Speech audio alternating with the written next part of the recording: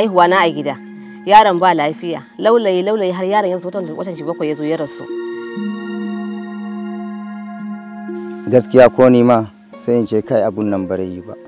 Amma daga baya matana ba ta da lafiya a lokacin kuma tana da ciki.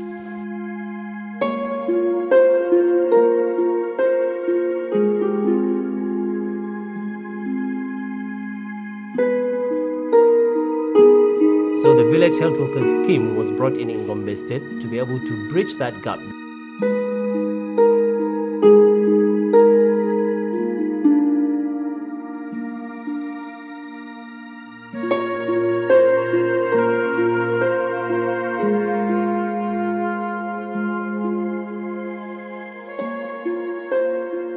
The National Strategic Health Development Plan has health service delivery and community participation and ownership as part of its eight focal areas to deliver a sustainable healthcare system to the citizenry.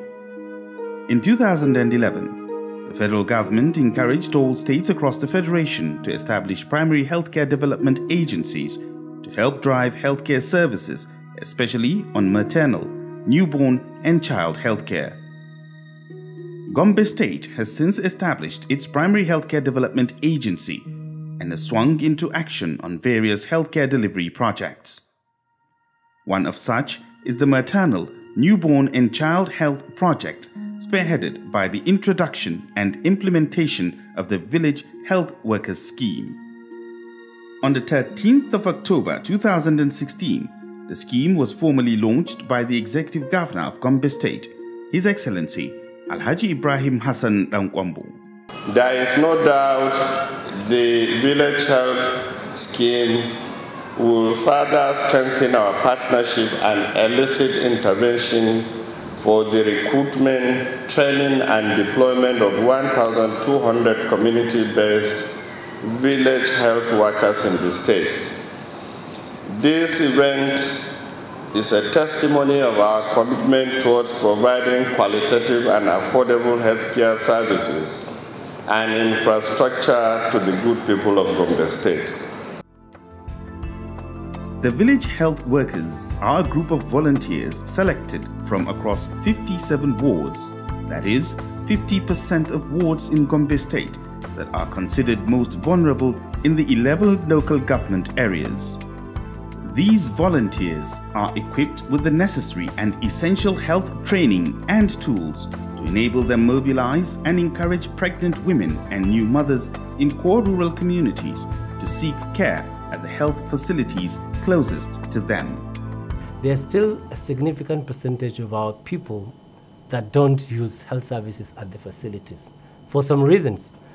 To some, it's because of difficulty in accessing the facility because of distance or probably because they cannot afford the cost of transportation, of going to and fro to the facilities, or maybe there are some cultural and traditional inhibitions that they don't want to go to the hospitals, or the husbands would not just allow them, or because of their household engagement.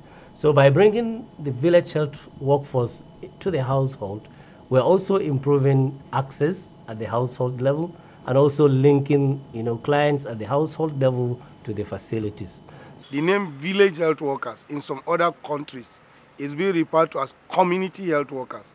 They are in the communities, they are also at the households, working with mothers and newborn at that household level, and also providing some simple management first aid services to mothers, newborn, and also children under five. The Gombe Maternal, Newborn and Child Health Care Project is being implemented by the Gombe State Primary Healthcare Development Agency with technical support from Society for Family Health and in collaboration with other development partners. Society for Family Health, SFH, is one of the partners funded by the Bill and Melinda Gates Foundation.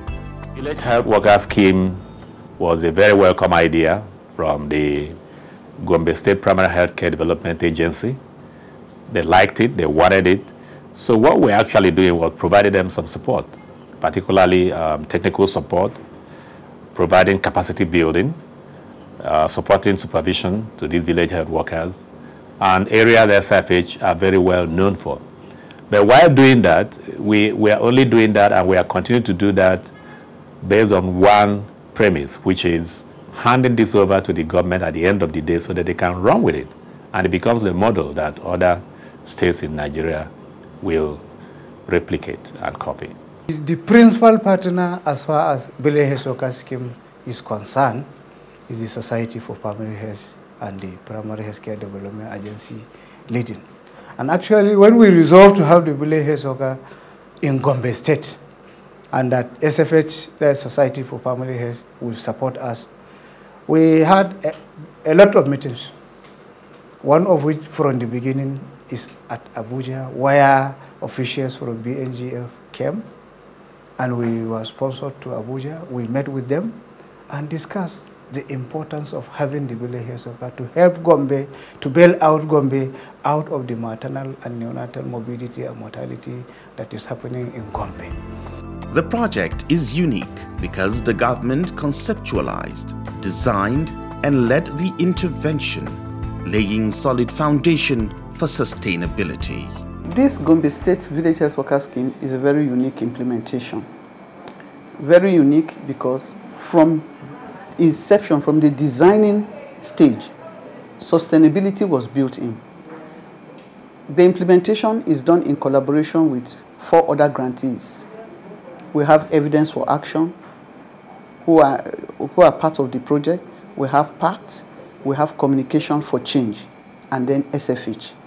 And why I said the sustainability was built in from the design is that the government themselves designed what they can do with or without SFH and other grantees as technical support. They agreed on how this training will be done. They agreed on the criteria of the women that they wanted to be on the scheme.